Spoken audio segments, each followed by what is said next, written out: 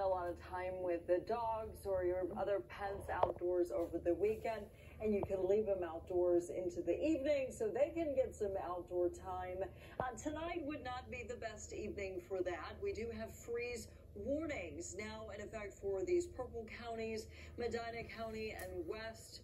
Again, this is a freeze warning, so basically colder than 32 degrees. And then a frost advisory Canton and South, so mid 30s here.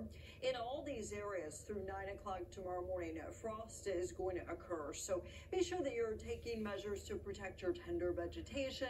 Bring your pets inside. I mean, we don't need to be extreme, right? You don't need to wrap your pipes or drip your pipes or anything like that. But you definitely want to be sure that your plants are covered up. I know over the weekend when it was like 83 degrees, it's super tempting to go out and get all kinds of fun plants, maybe for your patio. I almost did that too, but uh, just with this frost, you want to be sure you're bringing those in. Lake effect snow also returning this evening. This is going to be after 2 o'clock, scattered bursts of lake effect around for the morning commute. So our main issue uh, will be reduced visibility for the morning drive.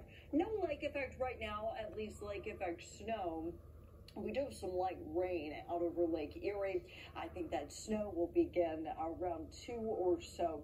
Uh, but will it stick? We'll talk about that coming up in just a bit and how much is going to stick, if any. Chris. Sam, thanks a lot. Of course,